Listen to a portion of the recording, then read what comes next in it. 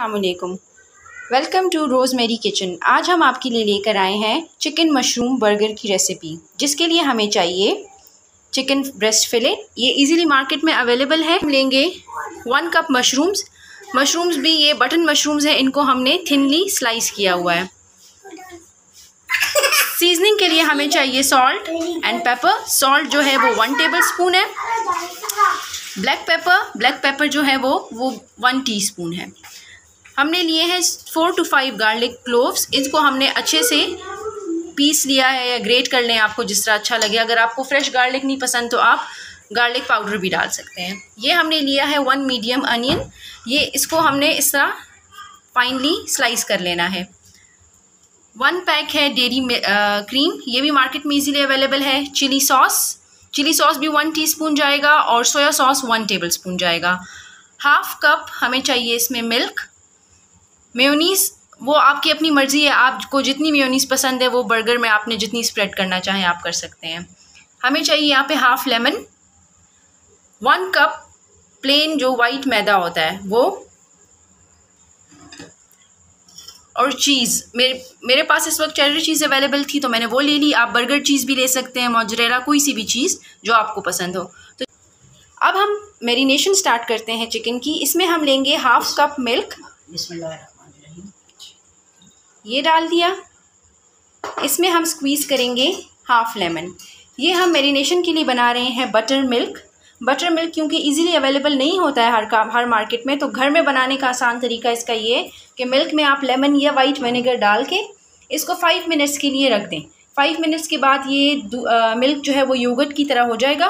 तो आप इसमें फिर चिकन अपनी या जो भी आपने मैरिनेट करना वो आप इसमें डाल दें।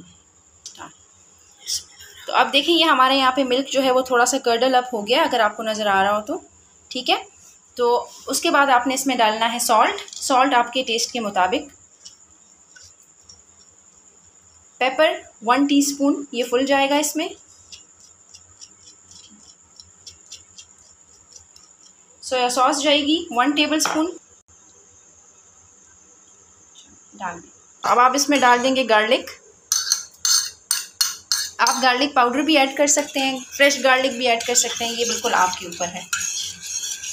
इसको अच्छे से मिक्स कर लिया। अब हम इसमें डाल देंगे चिकन फिले हमने इसको आधे घंटे के लिए इसमें छोड़ देना है कि अच्छी तरह से मैरिनेट हो जाए। जब मैरिनेशन पूरी हो जाएगी तो हम उसके बाद इसकी फ्राइंग का प्रोसेस स्टार्ट करेंगे। अच्छा यहाँ पे हमने ले लिया है एक कप मैदा। एक कप मैदा, इसमें हम डालेंगे salt salt as per taste है, आपकी अपनी मर्ज़ी के मुताबिक। वन टीस्पून इसमें जाएगा पेपर ब्लैक पेपर पाउडर इसमें हम थोड़ी सी जो है ये इटालियन हर्ब्स हैं, ये डालेंगे। वन टीस्पून ठीक है, अब इसको हम इस इस सारे मिक्सचर को हम ड्राई मिक्स कर लेंगे।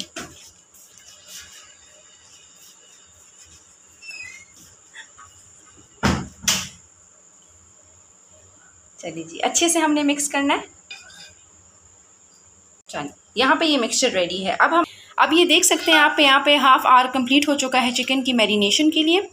अच्छे से ये मैरिनेट हो गई है। अब हमने चिकन का एक एक फिले लेना है, उसको ये जो हमने ड्राई बैटर बनाया है यहाँ पर, ये ड्राई बैटर जो हमने बनाया है यहाँ पर, इसमें हम अच्छे से इसको कोट करेंगे।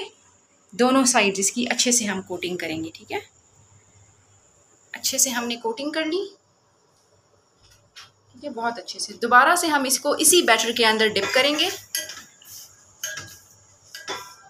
इसमें कोई एक्स्ट्रा एग कोई पानी, कुछ भी नहीं जाएगा। इसी के बैटर में ये डिप होगी होगी। दोबारा से इसके ऊपर यही कोटिंग लगेगी और हम इसको फ्राई करेंगे।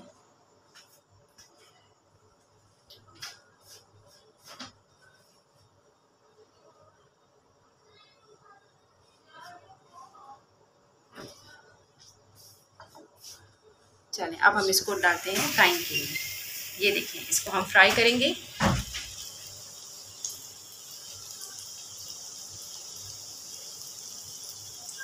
इसी तरह हम सारा ये प्रोसेस जो है रिपीट करेंगे। सब जितने फिले जितने बर्गर आपने बनाने हैं, जितने फिलेट्स आपको चाहिए। ये देखिए यहाँ पे ये फ्राइंग हो गए हैं। तो इस तरह आपने सारे फिलेट्स को फ्राई कर लेना है। देखिए कितना प्यारा कलर आया है इसका, इस तरीके से आपने सारे प्लेट्स इसमें फ्राई कर लेने हैं। हाँ आप इसको शेलो फ्राई भी कर सकते हैं, जो ज़्यादा oil deep oil deep fry चीज़ें खाना पसंद नहीं करते हैं। आप इसको शेलो फ्राई करें, वो टोटली आपके ऊपर है।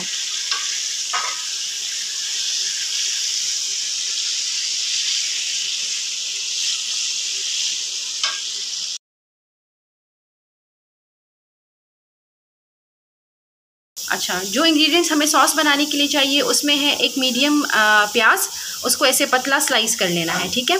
One cup slice button mushrooms हैं इनको भी थिनली अगर आ, अगर आपको होल उसमें मिले तो थिनली इनको स्लाइस कर लें ठीक है?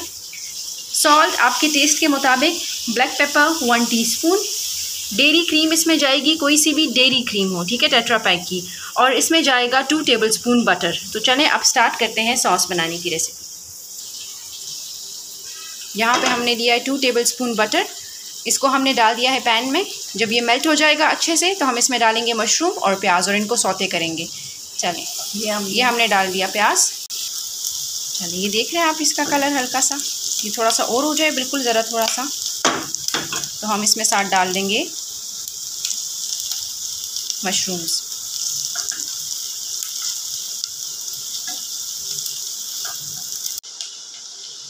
ये वन कप मशरूम है।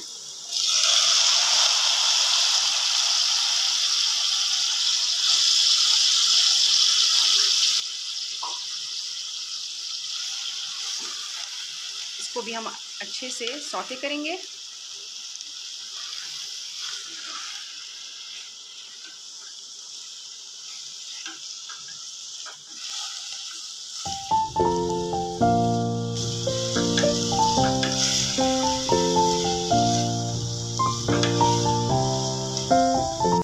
इसमें डालेंगे काली मिर्च और नमक। नमक आपके टेस्ट के मुताबिक और काली मिर्च वन टीस्पून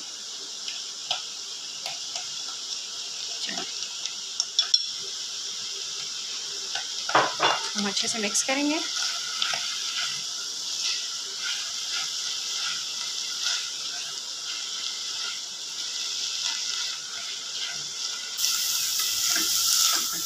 अब साथ ही हम इसमें ऐड कर देंगे क्रीम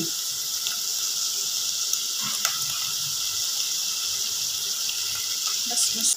ये एक कप पूरी क्रीम चली गई बीच में। इस जैसे ही सॉस का कलर चेंज हो जाएगा, हम चूल्हा बंद कर देंगे। अब इसका कलर स्लाइटली जो है वो चेंज हो गया है। अब हम चूल्हा बंद कर देंगे। सबसे पहले हम इसमें लगाएँगे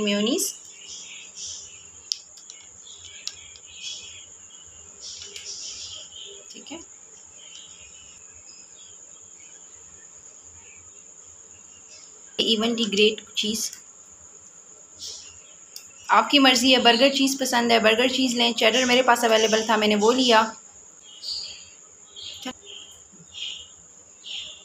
ये देखिए चिकन फिले आ गया। अब इसके ऊपर आ गई मशरूम सॉस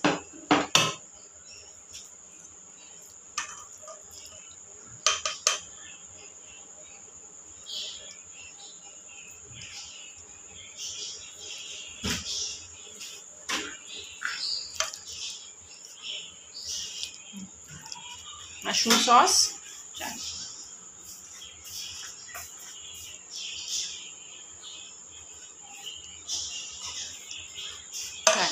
और बस, इसके ऊपर हम रखेंगे ये बंस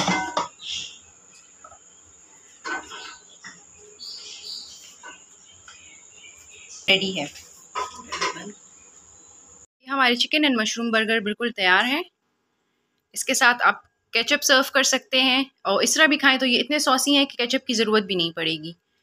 तो ये रेसिपी हमारी ज़रूर ट्राई कीजिएगा और हमें ज़रूर बताइएगा कि आपको कैसी लगी आज की हमारी रेसिपी